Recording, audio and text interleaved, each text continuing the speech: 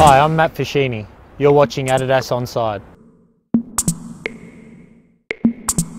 My dad was the only one that really played um, AFL. My cousins and that coming from Italian background, it was just soccer, soccer, soccer. So family barbecues, family functions, there was only a, a football around. So we used to have a kick and I got my passion from there.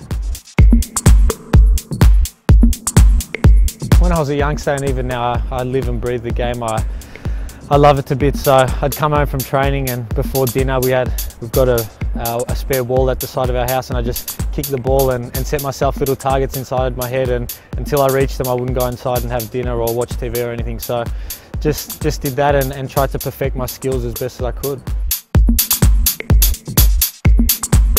I played for my local team which was five minute drive from my house. Um, from the age of five or six I used to play my brother's team, it was a bit older and then slowly, slowly I, I progressed there and, and, when it was time to leave I went to a, a, team that was a little bit better if you like and, um, and played there and then got into the Victorian Premier League when I was 16 years old and lucky enough to get uh, selected for the youth team at Victory and um, had a good season there and, and Ernie Merrick um, signed me for the first team the year after so been at the Victory four or five years now and, and I love it and, and, I can just feel my game progressing even more especially um, under Ange.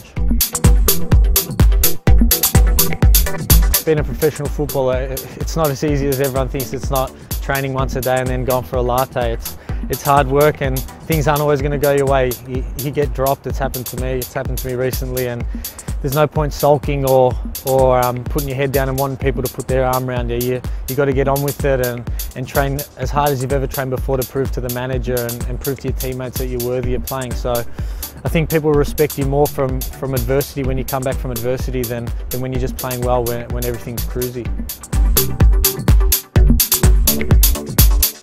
Just coming to training every day and, and hearing the banter from the 23 lads in, in the dressing room and, and, talking about the game and things like that. So there's not many other jobs in the world where, where you get to share success with, with a group of your best mates and I love it. Like I said, it's not easy, but 23 people get you through the tough times. And at the end of the day, if you're winning games, winning championships, uh, there's no other better feeling.